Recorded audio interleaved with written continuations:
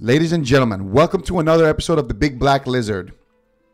In today's topic, we are going to talk about why I sound different. Now, as some of you guys know, I had a little bit of a uh, like a raspier kind of voice. And uh, the reason for that is because I had a uh, medical condition, uh, the same one that Miley Cyrus has.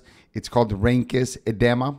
Basically, what it means is uh, these are your vocal cords. You talk, they shake, they make voice, they make noise, they make sounds. That's your voice. But when you have this thing, it's like a growth that grows between your vocal cords, right here, and it prevents them from properly closing, and that's what's causing the the lag to happen.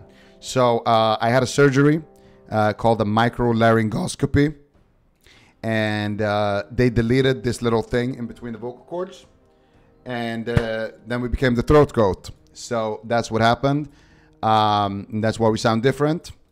And uh, yeah, figured I would address that because a lot of people have been asking. So uh, yeah, thanks for watching. Uh, subscribe and like, and uh, follow me on Instagram to help me find a wife. Thank you.